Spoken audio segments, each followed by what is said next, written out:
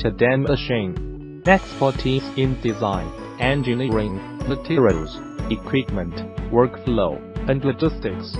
We work together to provide the ultimate solution since 2001. From sealed foods, equipment, and perishable items to electronic components, machinery and much much more. Welcome to visit our website www.todaymachine.com.